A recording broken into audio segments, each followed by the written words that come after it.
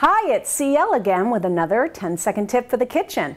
The next time you husk an ear of corn, a quick and easy way to get the silk off the cob is to take a damp paper towel, wrap it around the ear of corn, and twist it.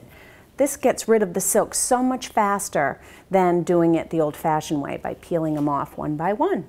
And that's a 10 second tip for the kitchen.